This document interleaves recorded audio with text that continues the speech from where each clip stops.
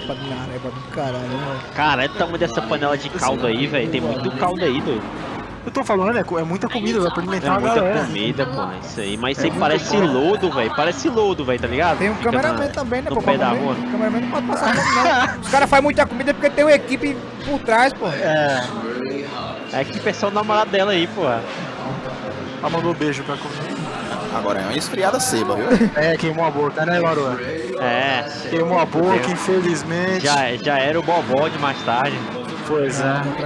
Bota pau no- na geladeira, tá tudo certo.